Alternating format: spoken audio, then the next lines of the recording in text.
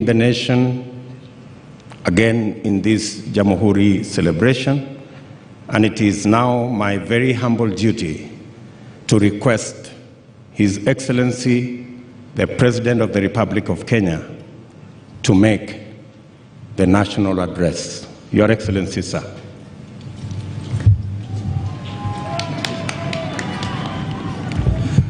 Asante sana. Please let's be seated.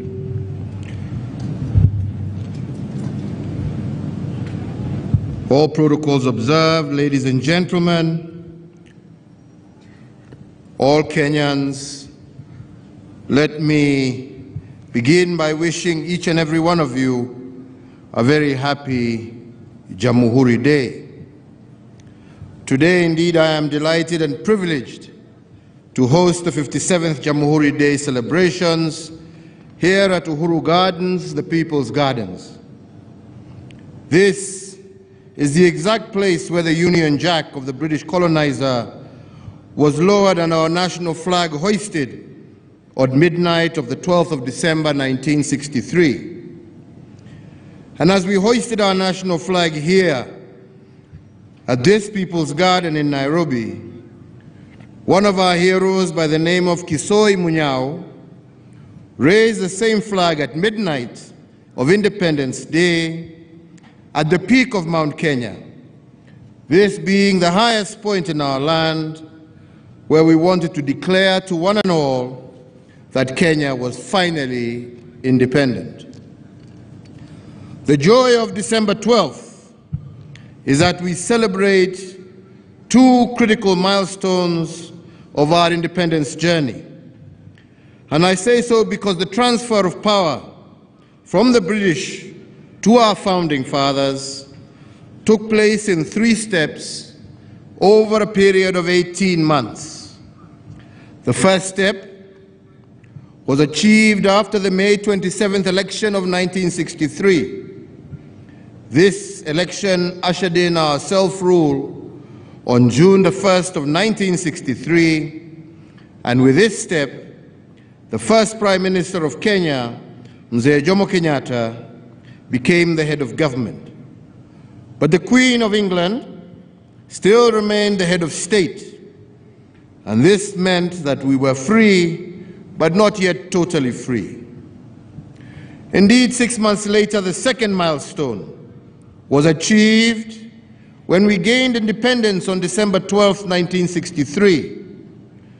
On this day, here, we hoisted our national flag and played our national anthem for the first time. And as we did this, we were reminded that our national flag is not just a piece of cloth decorated with ink or some sentimental display of colors without history. Our flag is a symbol of the national wounds and scars that we bear from the Liberation War. It is a picture of the battles that were fought, those that were won, and indeed those that we lost. And, beca- and because the ultimate act of every great warrior is to lay down his weapon, the shield and spears on our national flag symbolize victory. But even with independence, a national flag, and a national anthem, the Queen continued to serve as Kenya's head of state it took us one full year to get to the third and final milestone of our liberation. And this happened on December 12, 1964, when the Queen vacated her position as head of state, and with this act, Kenya transitioned into a full republic or jamhuri, making the total liberation of our country. On this memorable day in 1964, we returned to this garden to launch the Republic of Kenya and inaugurate its first president. And on the same day, the Governor General became the last expatriate occupant of Government House here in Nairobi. To commemorate this change of guard, the first president planted a Mugumo tree at the exact spot where our flag had been hoisted at midnight of December 12, 1963. That 57 year old tree still stands tall and proud to my right as a symbol of our struggle that dates back over a hundred years.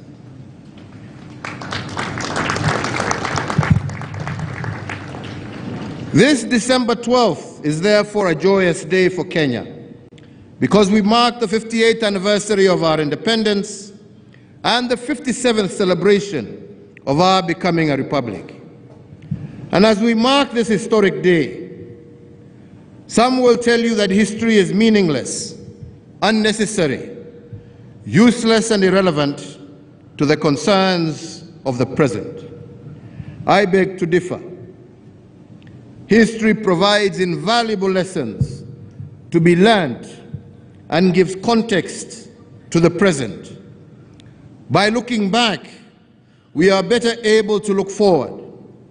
Learning from the past means that we can build on its good, avoid its mistakes, and most importantly, it is a constant reminder of the ugly, so that even as we forgive, we must never forget. Fellow Kenyans, why did our founding fathers choose Uhuru Gardens as the place to celebrate Independence Day in 1963 and the Republic status in 1964? Why did they want generations to memorize about our history, the untold atrocities visited upon our people, and all the evil associated with colonial rule? This ground on which we stand today were at one time also known as the Langata concentration camp.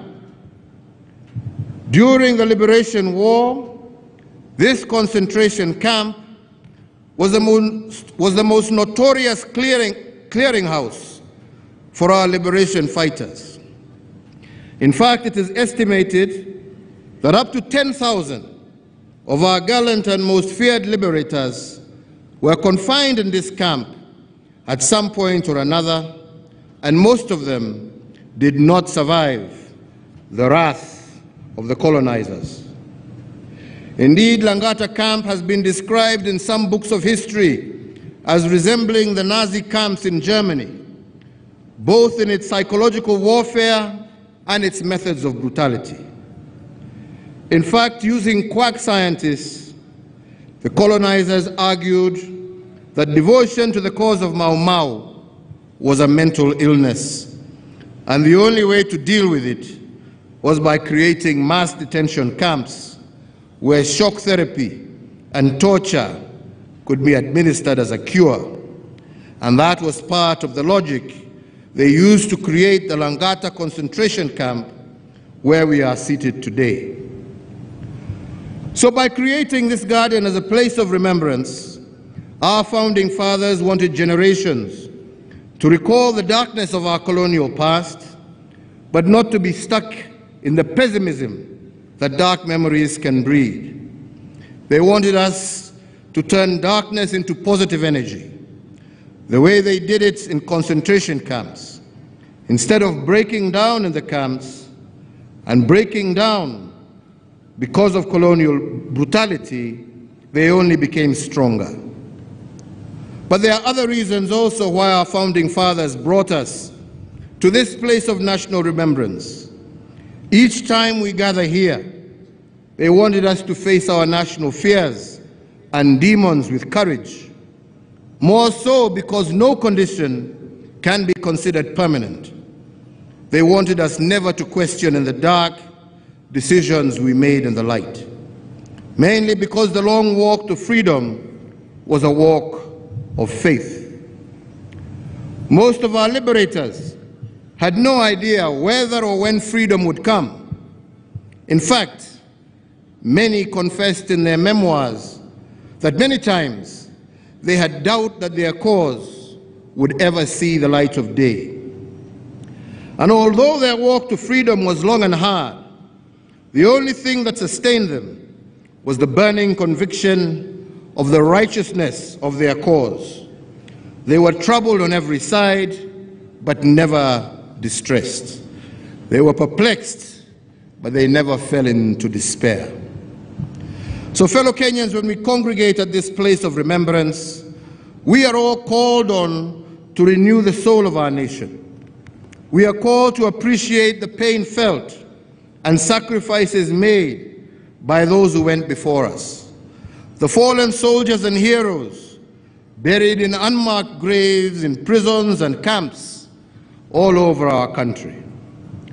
And that is why the project under construction behind us was initiated. Apart from being a place of remembrance and healing, this place will be an, will be an arena where the past, the present, and the future will converge. When Kenyans walk through the Heroes Boulevard, their spirits will be edified by the sacrifice our liberators made. And at the end of the boulevard, there will be the tomb of the unknown warrior, a warrior whose name we do not know, although he died in battle for our country, and a warrior whose mother let him go, and both mother and son sacrificed so that we can be free. Once completed, this place of history will rekindle memories of our armed struggle and also the good, the bad, as well as the ugly of our history. At the Hall of Legends, it will bring alive our legendary ancestors, including Mzee Jomo Kenyatta, Mekatilili wa Menza, Koitalel Arap Samoei, Jaramogi Oginga Odinga, Nabongo Mumia, Laibon Lenana, Dedan Kimathi, among many others. At the Tunnel of Martyrs, we will have a solemn memorial to each and every Kenyan who has lost their lives in the many watershed moments. This will range from the First to the Second World War, all the way to the victims of the post-election violence of 2008. In the rope gallery of this museum, a named rope will be dedicated to every one of the 1,090 heroic souls that were hanged during the colonial era. And at the Moments of Darkness gallery, we shall display the history of our country, of our lowest moments, the moments that we regret but are part of our history. But not all the galleries will be sad news. The Hall of Innovation in this museum will celebrate the brilliant, game-changing ideas produced by Kenyans. This hall will speak to the future and how our past has guided it and the hall, again behind me, marked by a pointed spear, will characterize our latest exploits, our moments of great hope and national pride, and our bold path into the future. So, fellow Kenyans, this place will be a book of history, an illumination of the future, weaved in hope, written in pictures, sculptures, and historic artifacts. And although the place of remembrance will also be a place of pain, it will also be an altar for historical forgiveness. As Kenyans walk through the galleries of the heroes and legends, they must forgive those who trespassed against them. However, they must also heed the call from our founding father when he said, We will forgive them, but we will never forget. We must forgive our transgressors but we must never forget their name. Fellow Kenyans, finally our founding fathers brought us to this garden of remembrance to teach us that nation building is not a sprint, it is a relay. No single person or group of persons can make this undertaking alone. Liberation was achieved because it was a product of teamwork. And it must be recorded that the founding fathers were not a team because they worked together. They were a team because they reinforced each other and had deep respect and trust for one another. They taught us that nation building is like building a house. This endeavor is a product of teamwork and not individualism. They built a firm foundation for a prosperous Kenya. Others amongst them built the walls and others roofed the house. Everyone had a role to play, and no role was greater or lesser than the other. The same is true today as it was then. We are building a house called Kenya, and there is no place for one manism in this project. It is the collective work of every able bodied Kenyan. And yes, we will disagree at times, but in our disagreements, we must always remain respectful. In fact, respectful disagreements are what lead to reconciliation. More so because when we disagree, it is a sign that we are making progress. The making of a nation and the building of a house are a living process. They cannot be static and must be dynamic. Errors are made sometimes, and re renovations must correct them after the house is completed.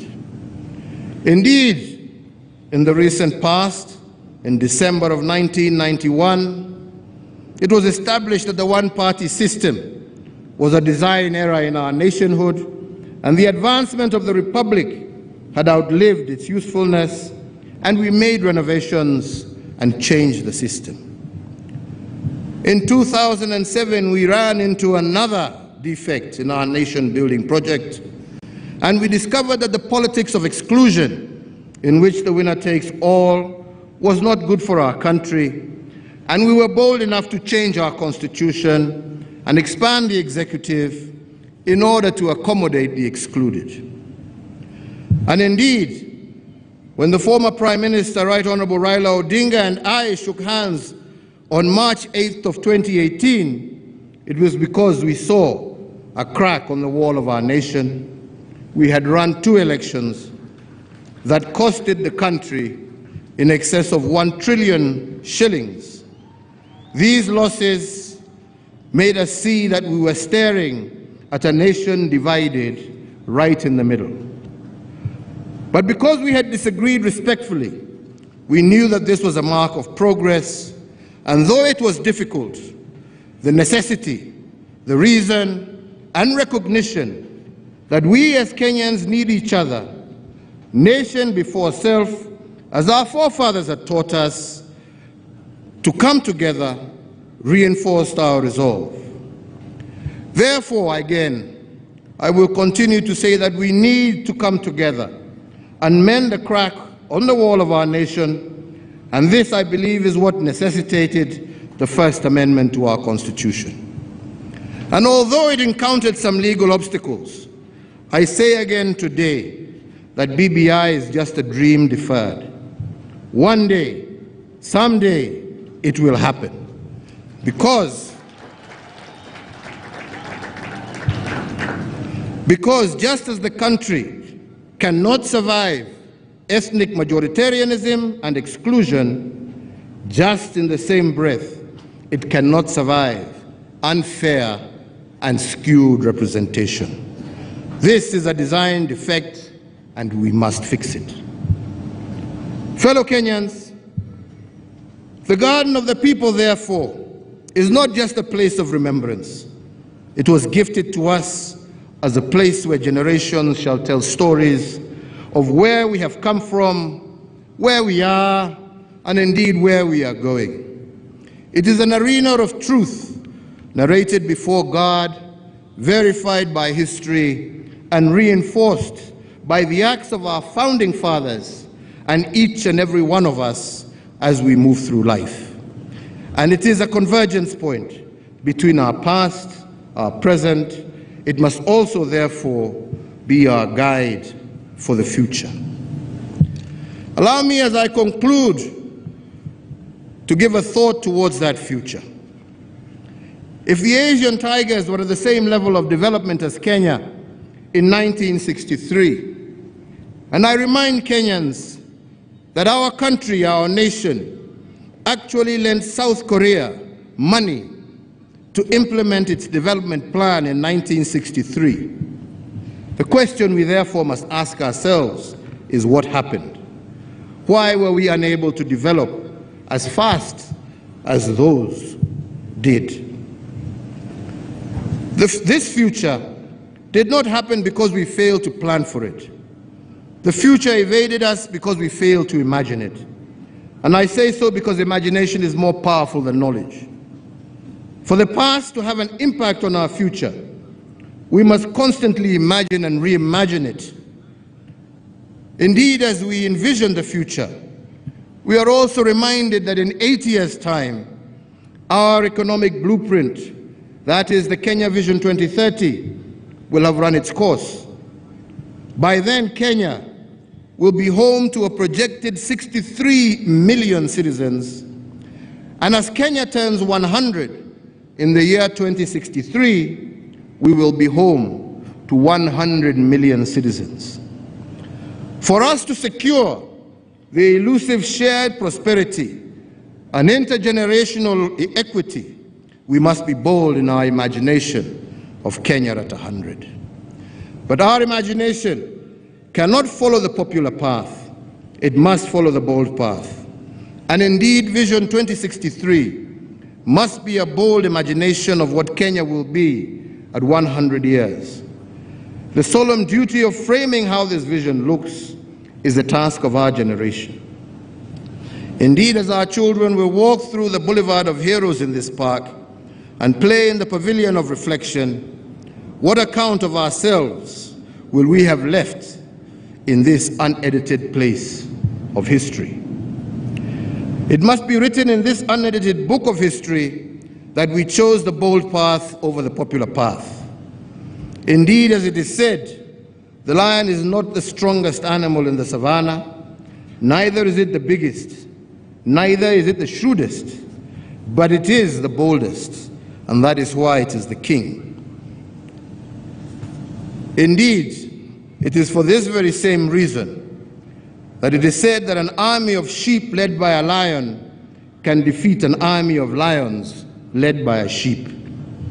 The future of Kenya, inspired by the past and present, must be about a brave imagination. That is why today I congratulate the young men and women of the 19th Battalion of the Kenya Rifles to whom I have presented the presidential and regimental colors today.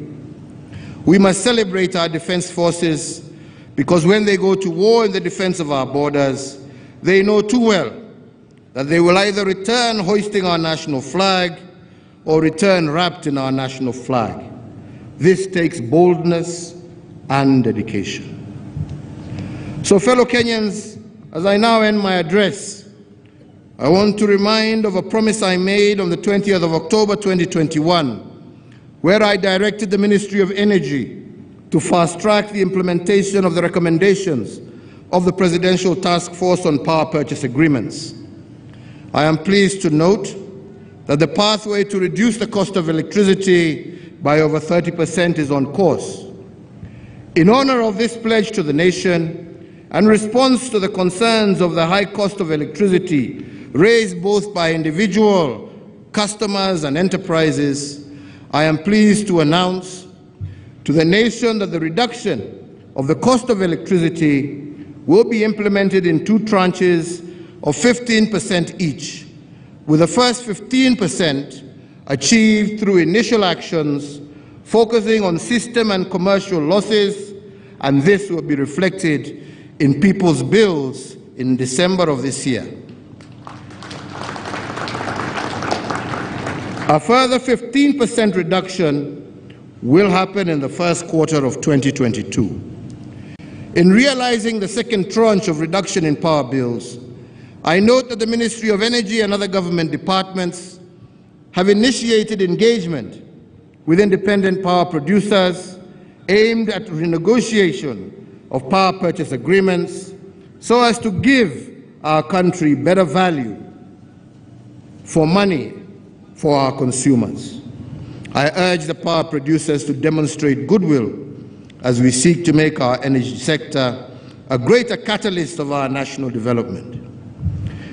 So, as we move to the new year 2022, I would wish to leave you with the words of our founding president as he wished our new republic a Merry Christmas 57 years ago. And in it, he urged our good men and women to be of service to their fellow countrymen. And indeed, his New Year message was, and I quote, let everyone who is educated teach others to read and write. Let every man who is help, healthy help a man who is sick. Let every man who has work find some prospect for a man that is poor and not employed. Let service be our inspiration for the future. End of quote. And with this message, I wish you all a Merry Christmas and a prosperous 2022. Asanteni sana wenzangu. Leo nimesema sitaongea mengi. Juzi nilipata nafasi kule bunge ya kutaja mambo mbalimbali mbali ambayo serikali ambayo inaiongoza tumeweza kuyatenda. Siku ya leo ni siku ya kukumbuka mashujaa wale ambao walipigania uhuru wa taifa hili letu la Kenya, wale ambao wamepigania demokrasi ya taifa hili letu la Kenya. Na hapa ambapo tulipo ni pahali ambapo patasaidia sisi kama Wakenya kujikumbusha mema na mazuri ambayo tumeweza kuyatenda, yale mabaya ambayo tumepitia na ambayo tuatakikana tusome ndio tusirudie, na pia yale maovu ambayo yametendeka, ambaye lazima kama nchi tujikinge na tuhakikishe ya kwamba hatuwezi tena kurudi kwa umwagikaji wa damu. Ningependa nichukue fursa hii kushukuru wote ambao tumefanya kazi pamoja na wao katika huu mradi wa kujenga hii Uhuru Gardens. Nianze kwanza kwa kushukuru jeshi letu kupitia wewe CDF na, na wenzako. Jeshi limejikaza kabisa pamoja na wengine, na tujue ya kwamba hata ule mtu ambaye amechora na wale ambao wamekuwa maengineers wote ni wananchi na watoto wa jamhuri hii yetu ya Kenya, na tunawashukuru na tunasema ya kwamba mbele ya mwezi wa nne mwaka ujao tutarudi hapa kufungua museum ambayo iko hapa na kufungua hii uwanja kikamili kwa wale wote wananchi wote, watoto wa shule bila malipo waweze kutembea, wajionee historia yao, wajionee pahali ambapo wametoka, wajifunze, wajifunze kutoka babu zetu na waweze kujua pahali ambapo wangependa kupeleka nchi hii. Ningefanya makosa kama singemshukuru mmoja kati yetu hapa ambaye tumekuwa tukiongea na yeye kutoka miezi karibu kumi na nne wakati nilianza hii project ya Uhuru Gardens, ambayo tumetembea na yeye hapa sana sana, na amenipatia mawaidha. Mheshimiwa Raila Odinga, nasema asante sana kwa yale ambayo umetusaidia kutenda. Naonekana hawa wazee wanataka uwaongeleshe, kuja uwasalimie jameni.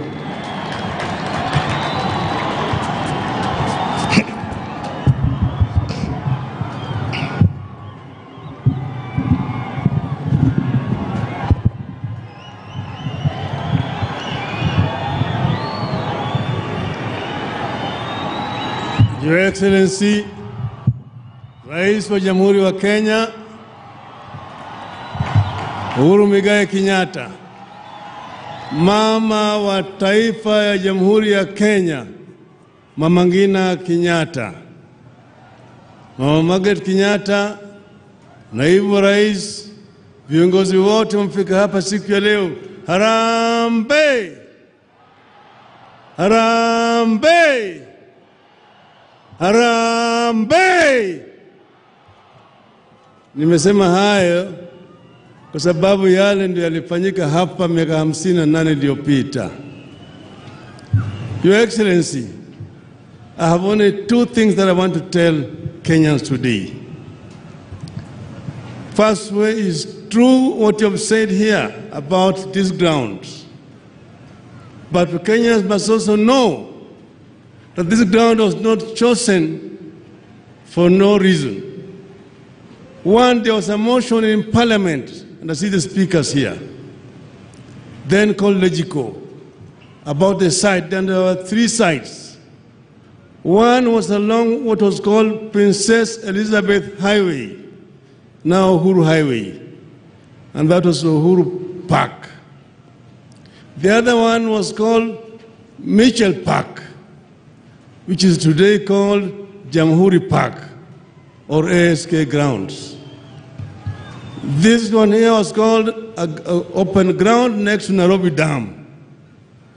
This one was chosen because it was a, a concentration camp where, as the president has said, freedom fighters were tortured, like they were tortured in Hitler's Auschwitz and Buchenwald.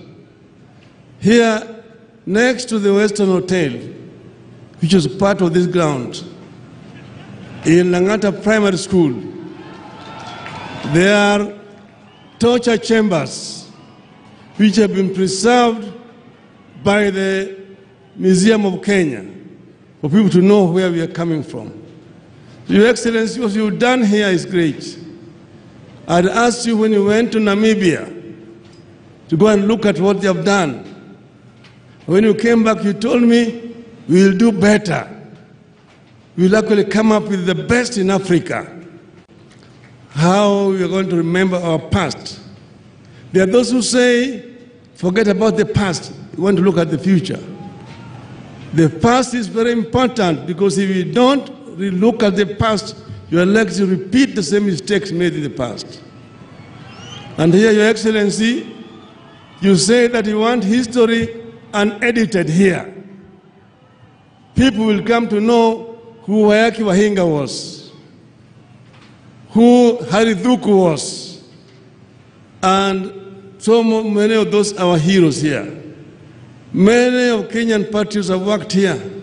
Historians, geologists, anthropologists, uh, uh, political scientists, architects, engineers have worked here. And people are going to be surprised at what you've done here. It shows your vision for this nation, our country. So we, therefore, Your Excellency, I want to congratulate you in front of fellow Kenyans here for the work that you've done that will only be recognized many years after you've left office. So we congratulate you, and this land had been grabbed, but those land grabbers who do not see any open space and stop grabbing them. But you managed to retrieve it back for the benefit of our people. And it's going to remain truly Uhuru Gardens, where we also are going to bury our heroes and remember them for posterity. I thank you. Merry Christmas and Happy New Year. Haya, kwa hayo machache na mengi, mimi nawatakia Wakenya kila la heri. Mungu awabariki, Mungu awabariki taifa letu la Kenya. Tuwe na Krismasi njema, tuwe na mwaka mpya wa amani. Majaliwa ya Mwenyezi Mungu, tutaonana tena. Asanteni sana, kwaherini. Thank you very much. Asante sana Mheshimiwa Rais. Kwa heshima Mheshimiwa Rais, naomba tuketi kwa kifupi. Kwa heshima Mheshimiwa Rais, naomba uniruhusu niwaalike wachache utakaowatunza medali mbalimbali. Head of Public Service, kindly if we could continue. Thank you sir.